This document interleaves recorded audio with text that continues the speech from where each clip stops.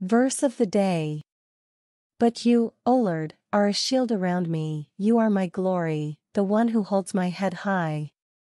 Psalm 3 verse 3 NLT. Let us pray. Abba Father, thank you for your favor and blessing on my life. Today I choose to be diligent. I choose to live in excellence and do everything to the best of my ability. I give you all the glory and honor, O Father. Thank you for teaching me to glory in my tribulations so that I can produce in my life perseverance, character, and hope.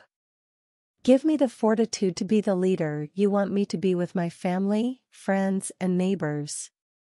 May they all see in me your love for them so that they may have a personal relationship with you. Elohim, Creator, Master of the universe, all glory be to you for you have created all things. Indeed, you have created us in your image, endowing us with creative abilities. As I do my work today, Lord, may I exercise the creative gifts you have given me. May I do so in a way that honors your Lordship, enhances the goodness in this world, and contributes to your purposes.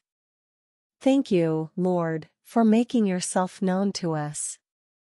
Thank you for using words that convey to us who you are and what you have done. Thank you for the confidence we can have in our knowledge of you. Help us, we pray, to grow in our knowledge of you. May we know you more truly and fully. May we know you more deeply and personally. May our hearts yearn to know you more each day. Lord, and I pray that you help me to continue to grow, and that you might use me to help others in their growth. Grant this, we request you, O merciful Father, through Jesus Christ, our mediator and Redeemer. Amen. Bible Promise of the Day If you wait for me, I will renew your strength.